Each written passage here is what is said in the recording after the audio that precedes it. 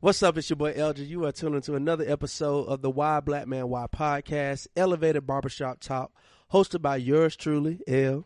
Mark. and Keith.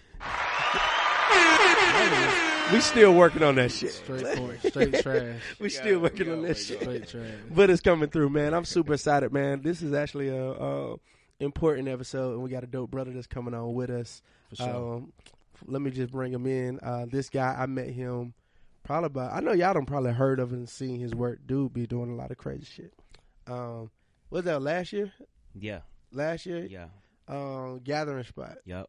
gathering It was spot. before that, though, right? We got we was. We I was think we've seen each other. I think the gathering spot was just. All right, I think Just a I, I seen you. Yeah, I think in. I All seen right. you the most. Yeah, but it was, I think it was before that. Um, brother, honestly, was truly just giving the most game to influencers out here in Atlanta. Like, if you really was like trying to be an influencer or trying to like leverage this thing we call culture, this brother was like helping you turn that into a business. If that makes sense. Uh, I had a bit, I had a movement called the Inaku, Inaku movement. You know what I'm saying? Intercool, yep. Inaku. Uh, from there, um, just leveraged his skill set, his network, end up getting on. Um, moved to New York. Well, Yeah. you well, you at Sony, right? Yep, yep. Sony Music. And what you do with Sony? I do hip hop and R and B marketing. See, so let you know, like they don't found him off of that. You know, did his thing, and now officially in the product business. Yep. Just coming off that Master P talk, that makes sense. so, uh, what's your name of your business you started? It's called Manhattan Grey. Manhattan Grey. Yep. With that being said, y'all give it up for my big brother, my friend, Mr. Kerry Klassic. Appreciate y'all having me on too, bro. It's- It means a lot to me, man. Thank you for sharing your platform. Yeah, man, this all of us. All of us are entrepreneur, dog. Uh, uh, you know, good thing your boy Nas dropped something, so you know what that means. Jay Z got to drop something. to. Every time. Shit. Hey, that was my first time hearing that. I ain't into music. That, is that a real thing? I've been seeing everybody say that. Hell yeah, it's a real thing. Like, so every time Nas drops something, It just so happens. It just so happens. nah, Hove the pettiest in the game. I'm gonna start paying attention to it more. I don't think. I never knew that. Yeah, I, mean, I don't think I actually They, like, uh, zeroed in on. I. I can't remember the whole rundown, but for the past So four, he still mad. Fuck Jay Z. well, for the past four Nas out uh projects, either either Jay Z dropped something or him and Or Beyonce be- dropped something. Yeah. Cause they dropped that Carter's last. They trying to time. mute my man.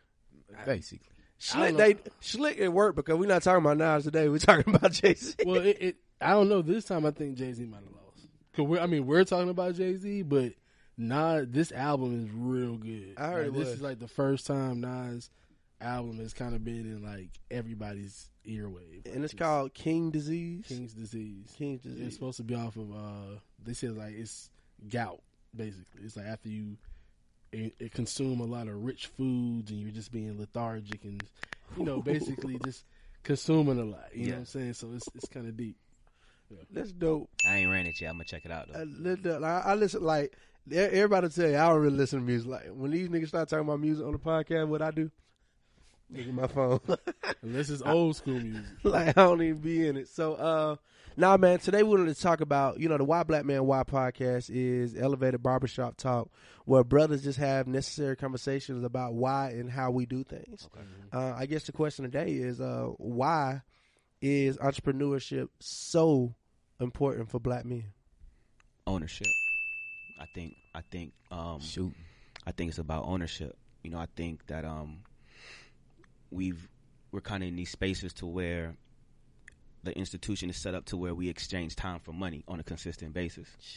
You know what I'm saying? Versus taking our intellectual property, which is which is rooted in culture because that's our lifestyle, right? So I think black culture is what makes mainstream shit hot. Right. saying? There's actual data and facts behind that type of conversation. Yeah. You know, like uh, Nielsen talks about when black people embrace certain products and or uh, you know our likeness is poured over something, it kind of has this halo effect because where it, it spreads over. You know what I'm saying? That's the influence of hip hop, Right. right? So we when we're telling our stories and telling our narrative and pouring our culture in the form of intellectual property of, of our mindset and our experience and, and who we know and where we go to eat and how we dress and why we dress like this and why we wear this hat like this that all is being productized outside of our outside of our purview you know what i'm saying and then and then we're backtracking, trying to figure out how do we retain ownership of our natural state of being. Prime example. Biggest free It's a great answer. Mark. marketing promo. That's why I said that I got a prime example for that. The biggest marketing promo that black people has ever done, and we had on none of that shit, was what? The Popeyes, Popeyes. shit. Popeyes Oh, yeah. Oh, chicken yeah. fucking Oh sandwich. yeah. Yeah. But I'm talking about like I don't even know how that shit just like Like niggas don't realize they still sell the sandwich now. Yeah. Like there were times when people were running out of sandwiches. Yeah. They're still selling the sandwich now. That is, there's not long lines. Black there's Twitter. Black. whole- I was just gonna say that. Black shit. Twitter. Black Twitter made that shit. Jay Z sold said it ain't real. yeah. So so what's what is Black Twitter? Describe that for the people. It- I mean, it's just where black people congregate. It's them, Twitter. it's them fucking cool kids. All the cool kids in high school that used to like The funny tell us ones. what to wear. The, the funny ones. like all them Yeah. motherfuckers Witty. met each other The- online. Witty. That's what it is. Like w- now, so Twitter is all about being witty. Like if you're funny, if you have something like interesting to say about a topic, you're gonna win on Twitter. So like those people are the loudest, and thus Black Twitter. So so Like- in the in the lyric, Jay Z says, "Black Twitter was that when Jack gets paid, do you?" For every one Gucci support two Fubu's. So we say that to say, all right. So we got Black Twitter. Back to entrepreneurship. What really is Black Twitter if we haven't harnessed that power to elevate more Black businesses? I You know what I'm understand saying? that. Because Black Twitter, in a sense, I mean, I, I even hear it sometimes on some shows now. They like, Mhm. oh, Black Twitter will cancel you, and it's like, Yeah. How do you really monetize Black there, Twitter? There though? you go. It's really just our culture, you know, in text form. That's just the way that people can write it, like what we experience on a day to day basis. Like you said, that's the cool people in high school. Like that's your cousin and them. Now, like that's that's just them. So Like, th- this this is what one thing I will say about Jay Z because like he said when Jack get paid, do you right? Mm-hmm. So if Black Twitter was really controlled and ran completely by us, why is it so hard to get people to go over to another platform, right? Or has there anybody that tried like for Convos? Well, well, before Convos, there is a person who tried. There's actually an app. Uh, And Convos is uh, our boy Chamillionaire. Yeah, yeah, I was Yeah. gonna mention that. Yep. Um, there is an app. I don't know if it's still around, but they attempted it a year and a half ago called Blackbird, where I do remember I remember Blackbird. they tried to get I all the that. Black Twitter members, And to they didn't get me. and they didn't get anybody. You know what I'm saying? But that, but Blackbird would have been the source of Black Twitter, and then through that, maybe you could have leveraged it. You know, but like you said, how do you monetize it? I don't know if it's a monetizing thing. I, don't, I think it's more of a promotion thing. Like, how do we get how do we get Black Twitter to promote Kerry's product? Manhattan Grey. It's And like, like they don't want to like I feel like it don't happen unless it's like all right, boom. Like I don't fuck with this nigga. Like so fuck your project. Like they'll they'll say fucking nobody, right? You know what I'm saying? They're like fuck you, like whoever you are. Um or sisters be doing good. They do they be do, like like me and Keith talking about this all the time. Sisters do a really good job at supporting other sisters businesses. Black girl magic. Like like even that in itself. Like what is the the man version black boy joy like that? We don't we don't really have something that we embrace as well like like the sisters do. Like so that's what we got to figure out too as men. Like uh, I feel like our sisters they have laid a blueprint of what it looks like to embrace each other online culturally, and we got to figure out how do we do that to brothers. I know I try to live that lifestyle and I try to support brothers in their businesses and stuff, but like overall on the internet, are we really just like yes, king, like get your coins, king, like like what? How, what does that look like for us? I don't know. I don't know. To, I, don't- I don't know to be honest. I think the way I translate Black Twitter is it's just a collective voice of Black influence, right? So if if it's it's it's only a, an opinion based platform, you know what I mean? So like you have to actually get your thought out. So if we all collectively rally behind something in its favor or against it, we have the influence enough to build or destroy. And I think that's just where it comes down to picking our battles and and um, being selective where we put our influence on what what we put our influence behind. But it's, that's hard to again that's hard to steer.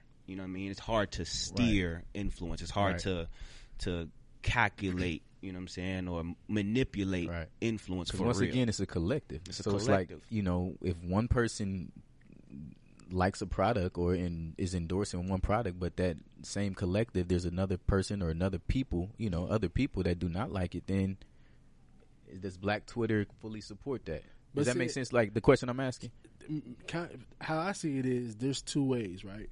You have organic, right, where it's like people just naturally. Organic to me is Cardi B before white people found Cardi B, right? Like Cardi B, when your shorty come tell you about, hey, do you watch Love and Hip Hop? Have you seen this girl Cardi B? She's so Yeah, real. like uh, a She's Cardi, thi-" Cardi B and Love and Hip Hop was like pre white people. like like, like pre-white people. Because I, I only found out about Cardi B from my homegirls, and I'm like, okay, well, she is cool. She's even when she was on her political stuff back then, it was a little bit more real, right? Then white people found her. Mm. Now that goes from being organic marketing to now we can put it in your face. We can have like it every like, show. look, look. Can, This how you knew. This is how you knew. Like it, white people discovered it. Like when she trademarked the. oh like that's man. that's that was the beginning of the commercialism. Like like and and nothing wrong with that. That go back to the ownership thing. You know what I'm saying? Like, but it's it's more so like now it's not that authentic. This is just who I am. It's the strategic business side of it. You know, but it should be at that point because the organicness, the organic piece of that was her natural state of being. Right. So the way that she says that, right, Right. and then it became viral or became mainstream because now you got a, everybody saying this shit, right? And then to have the wherewithal, or somebody on her team to have the wherewithal to be like, oh, let's see if we can actually own that because technically we made this shit up, and Right. if we have the power to own that, because like, okay, think about it when C- Cash Money and them, if they could have trademarked bling bling. You know what I'm saying? They missed that boat. Bir- Birdman will tell you. He said it in plenty of interviews. He he missed that opportunity to, to trademark bling bling. Bling, bling. They Did made that Master shit up. P uh, uh trademark uh I don't know. You know what I'm saying? There's certain things you just can't trademark just off the strength of it being so common that you just can't trademark it. right. You know what I'm saying? But Bling bling could be trademarked. trade though. that could have been I, trade. I love when, when Birdman said that shit. That shit was so funny. If I would have known better, I would have trademarked that shit. yeah, yeah. So Cardi B having the wherewithal of somebody on her team to be like, "Yo, let's let's shoot our shot."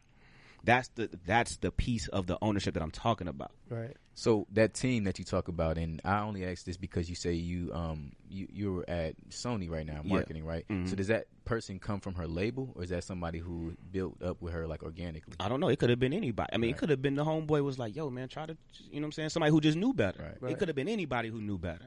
I- because, because to that point, um, six nine, right? The Treyway when he screams that, you know, that's trademarked by somebody's mom. Um, I listened to the they had a Spotify podcast. The one of the blood members, their mother when they shot the first video, Mhm. that that was her house, right? She heard them screaming it. She saw six nine getting on. She got a lawyer and trademarked that. Smart.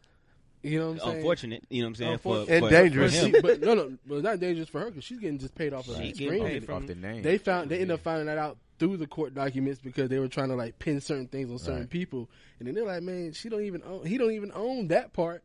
This lady owns it." And you hear her come on the podcast like, "Yeah, I heard them screaming it out." So she did was smart enough to do it. Somebody who know better. That's so it. we gotta pay her for Treyway. if they keep screaming that shit and it gets commercialized, they got to pay that lady. this nigga here. All right, Straight so so let's go to the uh the video entrepreneur man. Uh, everybody seen it, right? Yeah, I just watched. it. Uh, man, I love that shit. Like one thing I will say, uh, Pharrell and Jay did they did capture all of our businesses. Like I'm talking about, and I knew a couple of business owners in there, like I did too. uh, uh, the two young brothers, the uh, delivery business. Yeah. Uh, Yeah. they they Black they Mobile. yeah. Yeah. Black and Mobile. They in Philly. I knew them. I met them through We Buy Black at the convention. Yep. Um, like they had the brothers hustling the dresses, the baby boy dresses on the street. Like I, Beatrice. huh? Beatrice. Yeah. yeah, Yeah. Honeypot. Honey Pot was in there. So I I love that he showed all of our businesses, right? But one thing, um, what I want to do is, because I'm learning this when I'm working with We Buy Black. A lot of our businesses are still just on this solopreneur, like hustle mindset. Like you know what I'm saying? Like how do we? You always know who get it right. When Kerry came out with his product, like you know he's a marketing guy. The way it looked, the way it feel, what he named it, like. But we all ain't got that. You know what I'm saying? And I feel like we have. I've spent more time than most people on just studying the data of black businesses, right? And like, like I know all the statistics of how many we have, why they failing, how they failing. But one thing I'm really not understanding is how are we really going to take our business acumen to the next level? of all of our businesses for us to really begin because ownership is important, but like owning the land, I we get that. That's instant wealth. Like, you know, owning buildings, instant wealth. But like I can own this car wash thing, but how does that turn to legacy for my family? You know what I mean? And that's what I want to get our people to because I feel like we starting a whole bunch of businesses where we just replacing our jobs. We really ain't business owners. We just replacing the little hustle from our employment. Hey, you probably could have came out better Right. just doing your job. Like, how do we build a wealth? Right. So the yeah, and the question is how do we build wealth, but how do we get that knowledge to everybody, to the masses? Like that same question you just asked. Right. How do we get that out? You know what I'm saying? Not even what's the answer, because we all pretty much like you know what I'm saying. Like feel like we understand what the answer might be, how to build wealth. You know what I mean? But like, how do we get this story out to the masses? Like, what do we like? I feel like that's the question. I honestly believe it's it's out. I think we ain't looking for it. Mm. Keep it a stack. I think it's out. Like I'm self taught, bro. I I don't. I had no no background in hair product, nothing. I just knew that when I went to go look for the shit, I ain't find it. Mm. You know what I'm saying? And I didn't see anything that resonated with me. It was a bunch of white dudes on the box talking about some silver fox shit. You know what I'm saying? I was like, don't none of this apply. just don't none of this apply to me. Right. You know what I'm saying? So Them Richard products. I got on the internet, and so, so for the people that don't know, what's your product? it's called Manhattan Grey. It's a um, vegan uh, moisture pomade for gray hair. That shit sound important. Right. So what's a pomade? Because I'm I'm not even hit. I'm Pomade is just hit. like um, you know, like Murray's Grease, my nigga. sport, sport waves. Look, he trying to say professional. Grease, my nigga. right, that's how I understand it. Yeah, Yeah. hey, I just needed to translate Yeah, bro. yeah, you, nah, you gotta nah, translate nah, that for me. I- I ain't trying to step in I your wasn't even trying to hold you, bro. I wasn't trying to hold you. Nah, you good, bro. I like, look, I let him describe it. I like the way you did it. Nah, I'm you like, that shit sounds so sophisticated. this Nah, you my good. nigga was on point, right? Nah, you good. That's just me being, you know what I'm And saying? That's still a marketer, right? Yeah, I will market There it, you so I There that talk. But like, yeah, it's hair grease, bro. To keep it a stat. Yeah, it's just, it's just a, it's a all natural hair grease. It's not. Um, I'm, I wanted to make sure that uh, it wasn't nothing harmful. So there's no alcohols or um sulfates and none of that. You know what I'm saying? None of that shit in it. No chemicals in it. It's uh, it's a very basic. Are you cooking it? mixture. Nah, Oh, Nah, I went. So again, like to your point, I I started from zero. I was like, okay, cool. Well, I knew at, I knew at least knew enough that there were companies that are considered um, private label or white label companies. Mm-hmm. So mm-hmm. they're basically these companies that behind the scenes who create products for other people to slap brands on. Like, You know what I'm saying? So like you drinking the same water. It's just twelve different bottles. Right. So Right. wh- what is that called? That's private label. It's called right? private label or white, White label. So you can literally get on the internet and say mm-hmm. lightweight white label companies hair care. Right. and then you got to do a little research. So I found 50 of them. Right. I damn near emailed and called every one of them until I found one that was like, "Yo, we can create it at this this much of a minimum. You only have to get 20 of them to to start off. Right. It costs this much. There was a black person on the website. A black lady picked up my picked up the phone when I called. You know what I'm saying? So I just felt a little more comfortable because she spoke to me how I needed to be sp- spoken to It felt like how you know she was a sister. because the way she talked to You me. know it. You know it. You, You know, know it is a sister, The man. You talked just love it. You just yeah, love it. the way she talked to me because I, I, was- I was She very said that honest. baby at the end. I, I got, all right, baby, I got you. Yeah, She's like, I got you. Yeah, I ain't know nothing about nothing. I called. her. I was like, I need a product. Um, it's for gray hair. I don't know nothing. I need you to hold my hand through this process, literally. And she just was like, okay, well, what do you want it to do? And I was like, I don't, you know. Then I started talking to people. Yeah. That people were like, I don't like s- sticky shit on my hand after I use my hair grease. Cool. So uh, they don't want no sticky after touch. All right, for the listeners, this is called customer discovery. Keep going. Yeah, yeah, just little stuff like that. Just talking to people. I don't. Men don't want nothing runny, so they ain't want to get a oil off off jump. You know what I'm saying? I I, I plan to do a oil, beard oil, something like that, but um, I knew men didn't want nothing runny. They don't want a bunch of aftertouch. When you put it in your hair, you don't want to lean back and and there be They're shit- coming to America. yeah, you don't want shit on the back of your um on your couch. So I just told her that, and then she told me things that specifically could help me needed with to that. Yep. And I did a little research, like you know, essential oils for gray hair and you know shit like that. From idea to manifestation, how long and how much, if you don't mind? That's a great question. It took about um I started in December ni- uh, 2019. Mm. I launched it officially publicly July 31st. So maybe about seven months.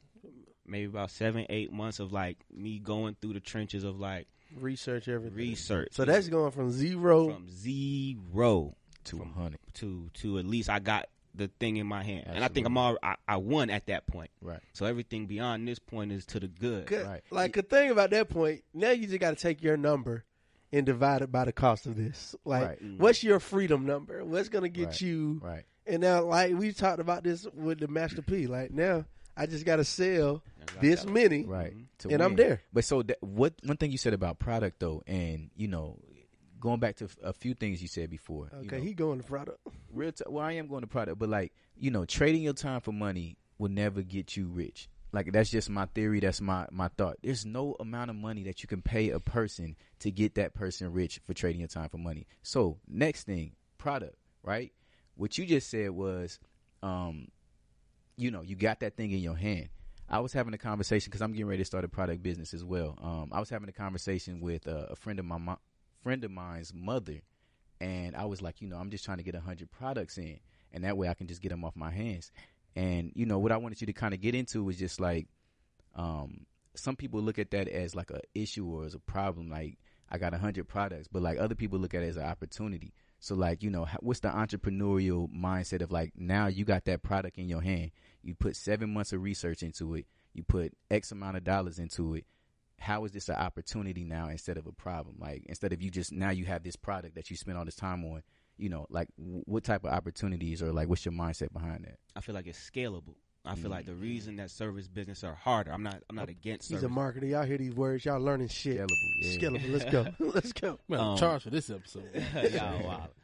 Um, I, I, for one, I'm not against service based business. I learned a lot during my time doing, you know, what I was doing. But I just knew that to your point, you, it's you're you quit a job to own a job. Now you still got to get up and do this shit, and it's and if it takes me to do it, whatever I'm doing or whatever I'm selling, people bought into the idea of seeing me public speak or seeing me do shit. So then they was like, okay, well, Kerry, I want you to run this campaign Right. right? So it takes me X amount of time, and you're gonna pay me X amount of dollars. So there's no way for me to scale that unless I can duplicate myself. And that's why people start hiring. They they create agencies, and now they got a whole bunch of people that they man, they Right. manage. Right. I ain't necessarily want to do that. I was just like, man, this shit is gonna.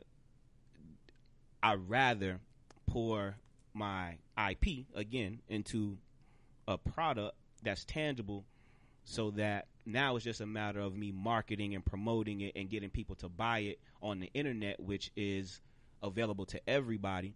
And all I got to do, not all I got to do, but now it's my job to figure out the the production process. Okay, there's a manufacturing, there's a shipping, there's a packaging, there's a you know what I'm saying customer experience once they mm-hmm. get it, how they feel about it, do they like it once they get it? Can I get them to repeat buy? You know what I'm saying? Shit like that. I'd rather yeah. work on those problems because I can systematize those Word. versus me trying to if a nigga had to call me every time they wanted to buy Manhattan Grey, Absolutely. it's still it's still taken from my time. I get that. I understand that. That's good. That's good. So uh, do some manifestation on, on the show, man. This time next year, how many units you moving? Shit. I mean, I just want to. Uh, that's a good question. I haven't. I haven't thought about that. But my goal was to make my ho- my goal was to make ten racks within the first like couple months. You know what I'm saying? Like, okay, I launched in July. Um, if I can get ten bands profit net. You know what I'm mm-hmm. saying? Like after after all the expenses have been paid, I've paid the manufacturer, I paid for my jars, I paid for my labels, I paid for my shipping packages and all that shit.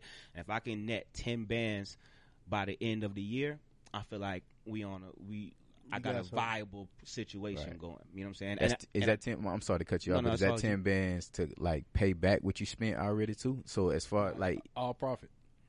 I, I would like it to be profit, but I understand what you're saying Yeah. because there was a lot of shit that I did out my pocket to Right. start it. That's what I'm. So I had to get somebody to create the label. Right. I had to get somebody to create the logo. I had to get somebody to make the first shit. Right, you know what I'm saying? So I'm probably in the whole shit. I don't even want to do it, but I'm probably in the whole a couple racks. But I think that again, um, I think again, if I can make ten bands to the good.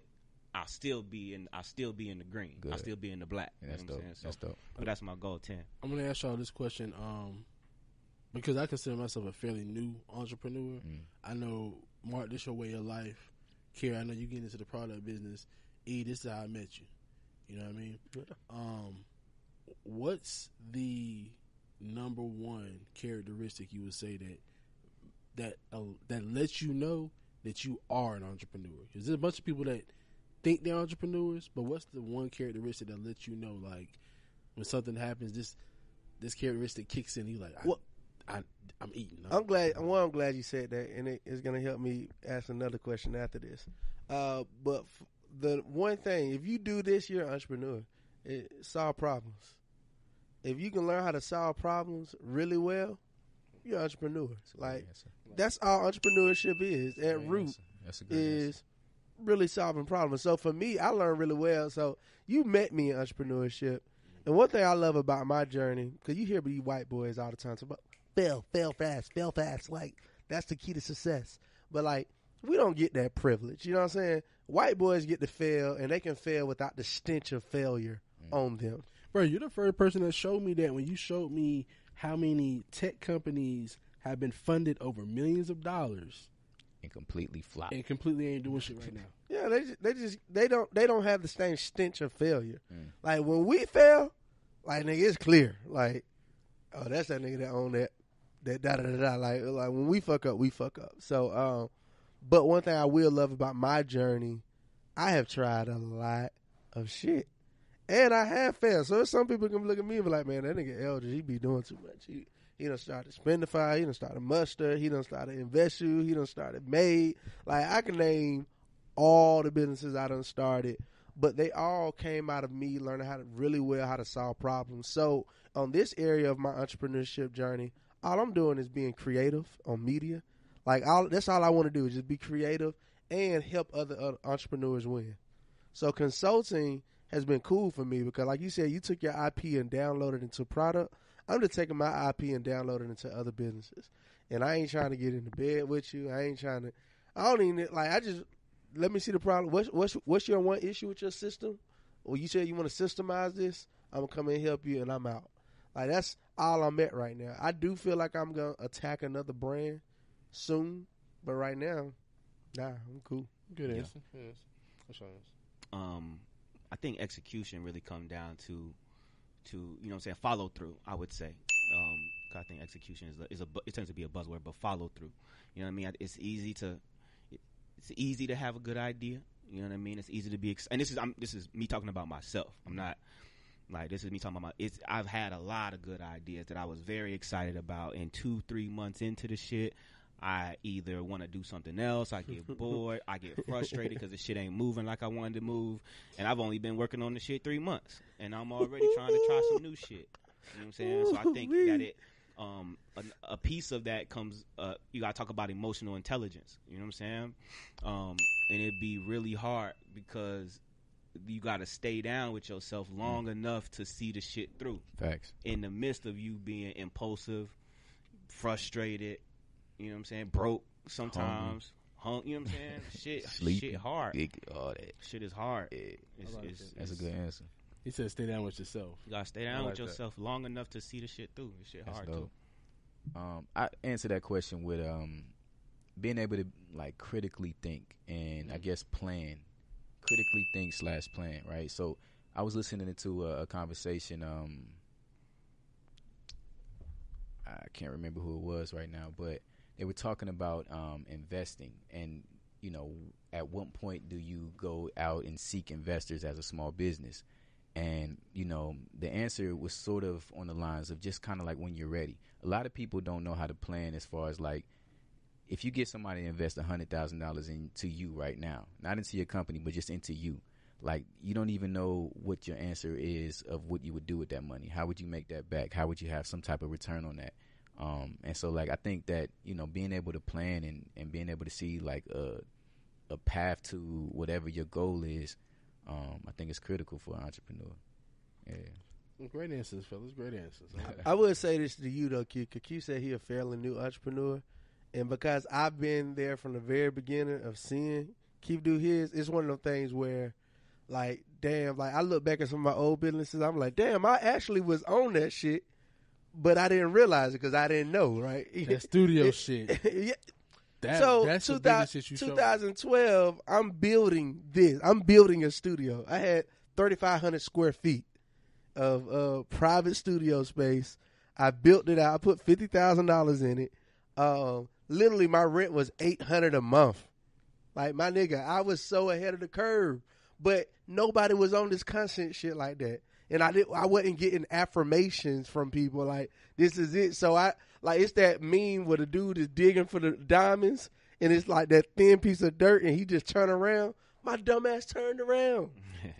Like, bro, I was doing this shit. So I'm just saying that looking at Keith, like, Keith, in a short amount of time, the clientele that he has brought up, like, nigga, you don't get the clientele uh, repertoire that he has in your first year. I'm like, nigga, you're way ahead of the curve. Like, Right. but you got to have those affirmations around you. Right. So, like, one thing I will say, I think last question I kind of I have for everybody on the Jay Z video. What I liked about it, it kind of just showed like these entrepreneurs doing great things. Like mm-hmm. this woman was the first woman to do this, or this guy did that. If you had to talk about your industry right now, like, and you could say you were to make X accomplishment, what would that accomplishment be? I go first. Um, my accomplishment would be um, that I changed the the stereotype and the stigma about uh, men's wellness, and specifically black men's wellness. You know what I'm saying? That would be mine.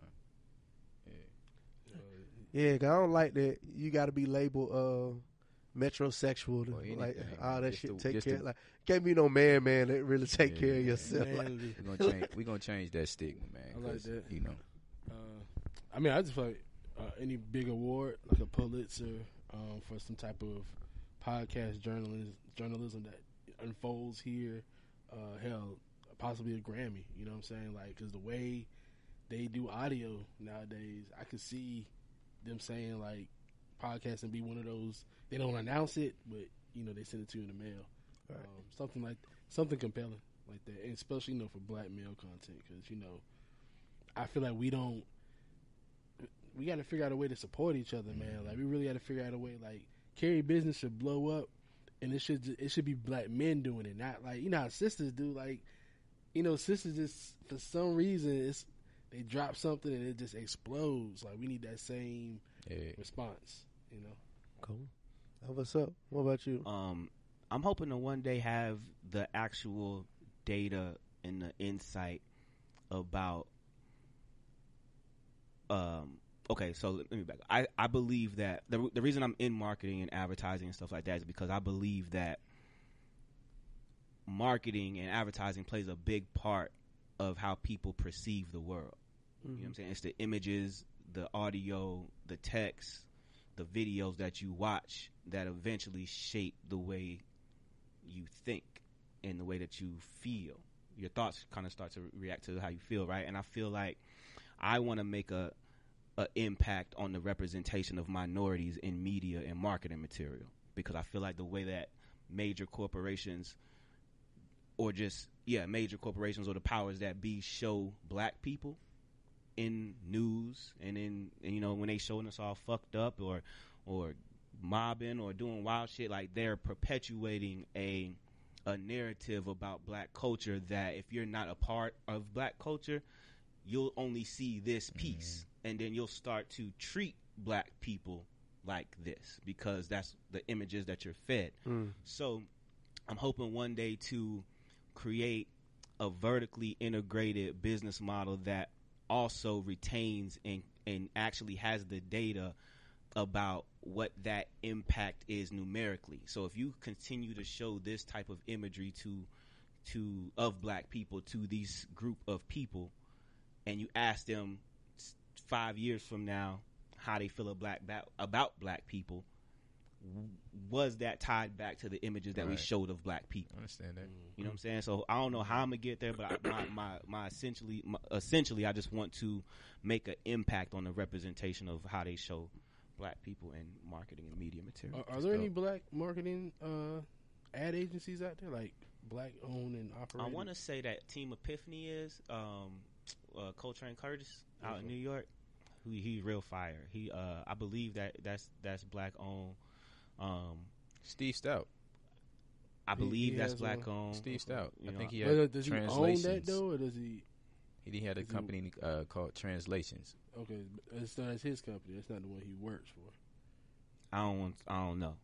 To be I honest, I got it. I got to check too. But Yeah. I, I believe that. That's might- something to look into. Yeah, because I be because you know one thing you say about that with us being so influential with culture, music, hip hop, Hey, we be we, we, be, should have the number one. we be giving it away. Because one thing away. I know about black people too, though, I know every black person isn't an authority on black people either. right? So I also want to make sure, like you said, to your point, when we have these marketing or just images put out there, I want that to come from black people who know about black people because you know Yeah, I mean, you see it, and you see it too. Like, like when you see these restaurants be sending out these very current tweet lingo, like, Mm. oh, it's the something for me. It's the chicken sandwich for me. Like, that was a sister.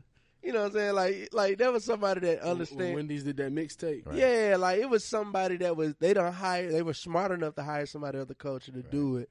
But we just need those people now to begin to t- bring that back.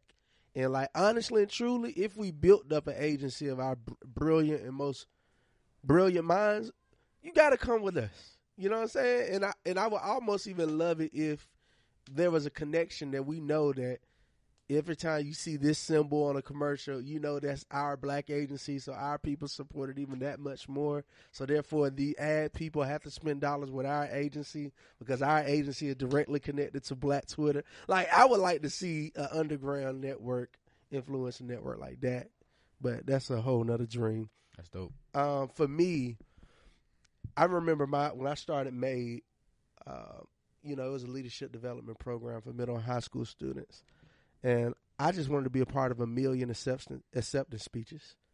I want to have a million people literally say that I impacted them, whether they read a book, whether they heard a speech, participated in a program. But since then, I have transformed and scaled that down slash up. Um, so I recently started trying this little pilot called my Young Wolves program. My Young Wolves is where I just take young brothers, actually very close to me, in a like early twenties, and I'm giving them access to everything that I have, contacts, shortcuts, all the stuff that I needed. You know what I'm saying? Because I feel like mentorship is lost after you graduate high school, get in college. People want to mentor elementary, middle school, but like when you're an adult, you're a grown man, but you still trying to figure it out. You be out here on your own. So I wanted to take those young groups, and my goal, honestly, is with my consulting is to take ten young brothers and make ten millionaires. That's what I want. I'm with that. I can do that. Sign me up. I want.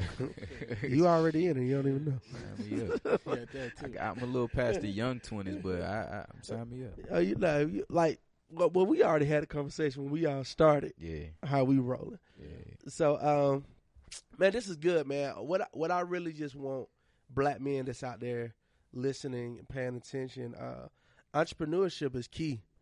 Ownership is a must. It's not an option. And you ain't gotta own your own business, but you gotta own some land. You gotta own something that is a growing asset because that's the only way we're gonna really begin to win and control our communities. What you about to say? Uh, b- before y'all wrapped up, I wanted to ask y'all just a yes and no.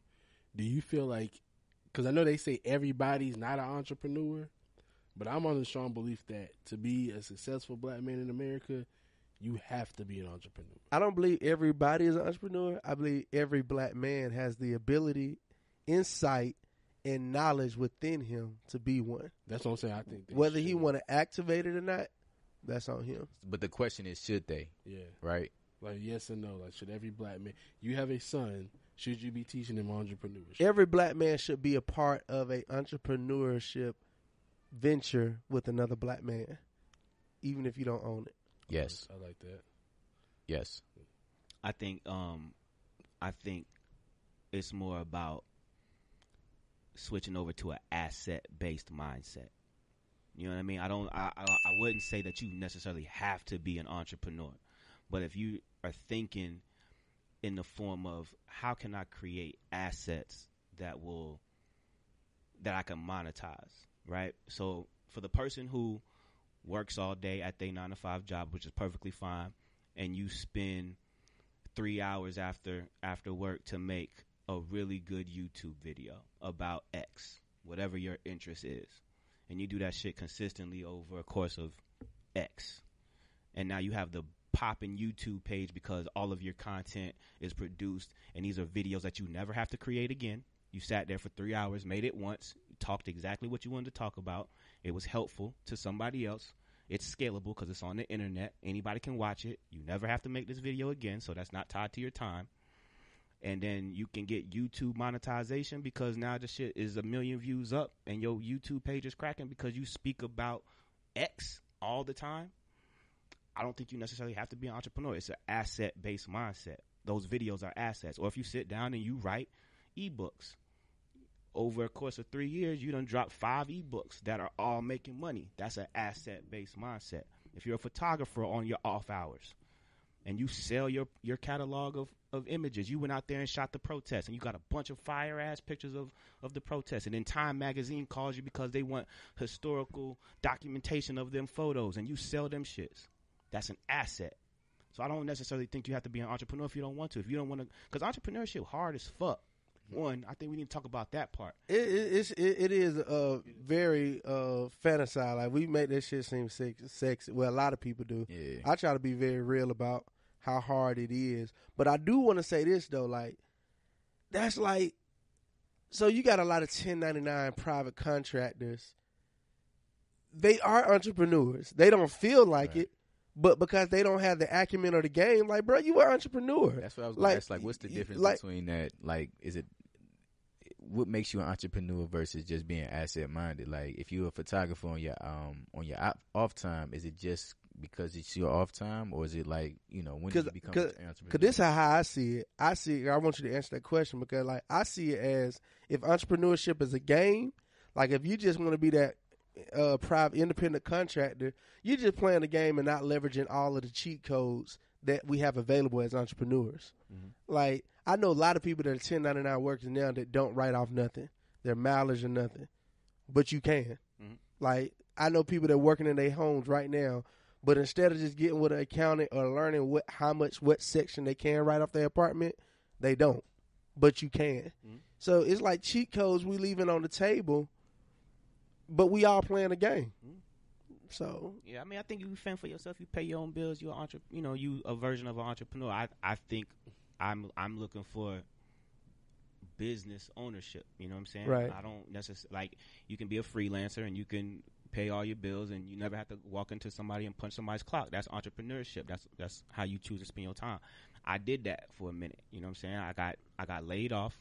I got pushed into entrepreneurship because I was laid off. So I was just sitting there like, okay, I got to do something. Mm. So the first, my instinct is to start hustling just to get something moving. And I figured out that that shit is exhausting. I, I became very opportunistic. I became very selfish because you you become when you in a when you in that space of hunger or struggle, you it, You don't fe- it operate- feels like it. you don't operate at your highest That's real. height. You also uh, at your highest height because like you're so you're so emotionally aware of o- Right. opportunity. You know what I'm saying? But you also become very you become selfish by default. Right. It ain't like you want to, but it's just like you get up and go to work. I gotta I eat what I kill. Straight up. You know what I'm saying? So that's a So how and when did you sensitive. change? Just time, bro, and just therapy. You know what I'm saying? Word. To keep it a stack. I ain't even gonna hold you. I think That's that shit therapy, dog. Like that shit. Um, that shit so emotionally. Like entrepreneurship, one is like the most in, emotionally, physically, and mentally engaged you'll be in anything because it's literally you fending for yourself. Every You know what I'm saying for your livelihood, Mhm. right?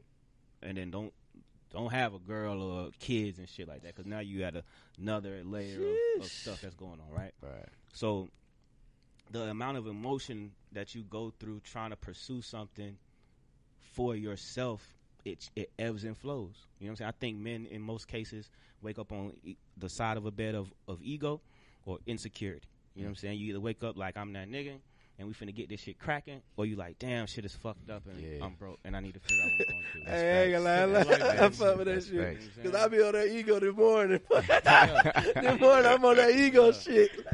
Yeah. Uh, but nah, man, like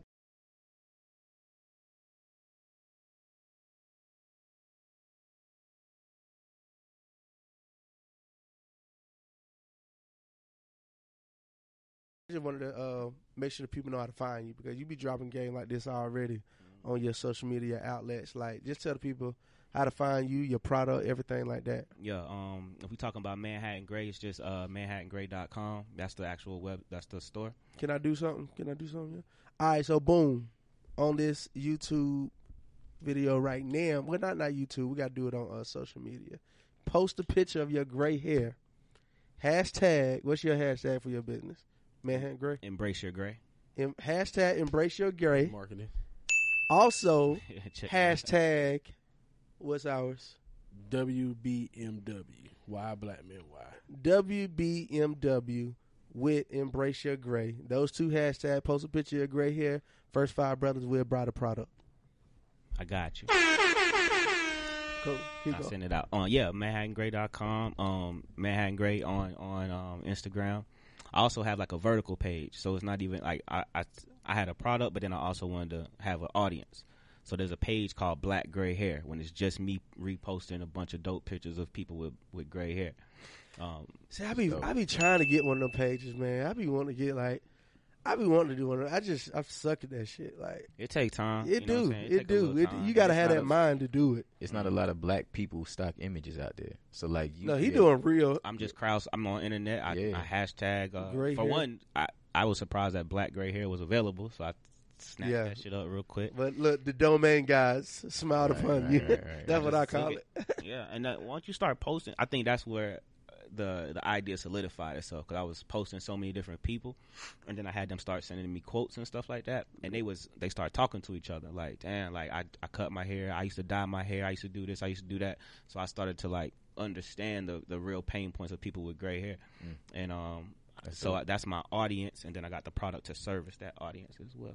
You know, that's when I'm cutting my like. I, I'm not cutting my locks till I can get that salt and pepper. I want to see that gray in my shit. Yeah, that shit gonna be slick. ain't gonna I lie. can't wait to get like some salt and pepper in my beard. that, that's a goal for me. I ain't gonna lie. That's bro. crazy to hear y'all even say that, bro. This gray hair had me super insecure. Yeah, So because you grew with it, right? Yeah, you you grew about with it. shit, like, we, you grew with it. you It's like, like, ten years old. like, This I was shit. like, yeah, yeah. Like, fuck? so it's a difference, right? It's like almost like the Gap.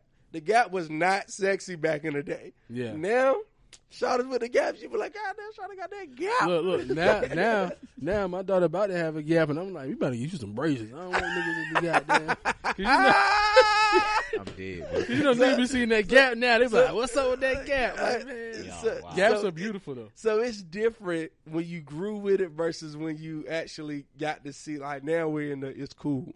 Like that gray shit, cool. That man. shit crazy to me, bro. Well, like you said, cause even women embracing it now, like that, sil- Yeah. that silver, especially like when it's natural. It's like, oh mm-hmm. man, then they got that skin tone. You be Yeah. like, damn, Yeah, I know I be on them old ladies. So, But that's why I like Donna Brazile so much. I be like, she did be talking, but man, she's beautiful with Yeah. that gray and then the the the, the mocha Yeah. chocolate skin. Is like, man, The gray and the mocha. Yeah, So- So, on the whole world, bro, out there. It's crazy. I did not know that shit existed like until I Storm, started. Storm Yeah, in the Storm. comics. She been yeah, there. She well, was the yeah, first one. Storm, So to all the brothers, man, we really want to rally around this brother. We want to support his product. We sure. definitely want to get behind him. He's doing great things, Appreciate amazing that. things in our community. Even if you ain't got gray hair, buy that shit for later night. Pull that shit out ten years later, like man, what that shit what? like, but uh, support a brother, man, and he doing amazing things. Uh, we just want to thank all the listeners for tuning in. Do us a favor, this your first time watching, click the subscribe button at the bottom. Follow us on social media. Thank you for tuning into another episode of the Why Black Man Why podcast, hosted by yours truly, L. Marc, Hey, Keith, boy, y'all stay in school. Man. Stay in school. We out.